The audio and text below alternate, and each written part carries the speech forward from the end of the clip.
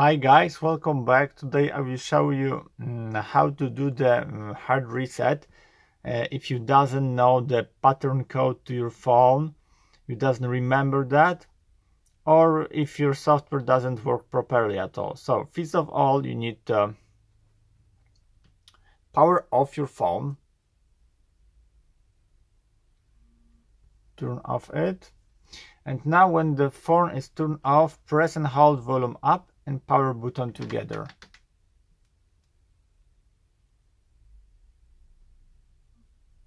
Release power button when the vibrates, still holding volume up.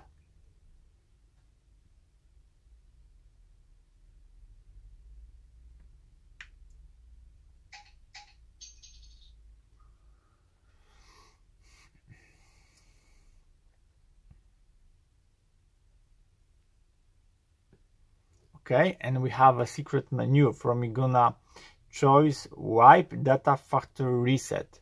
This is the second option. And now wipe data factory reset.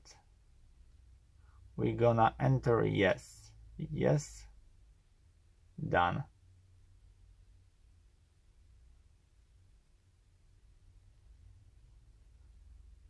Volume up volume down this is second operation. And now the phone gonna resetting all data remove all passwords and gonna start with the new fresh system without any lags and passwords. We're gonna re reboot system now. For now you need to know your google account password if you have it login and that's all. I hope the video is helpful for you. If yes you can thumbs up subscribe my channel and see you by next video. Hey!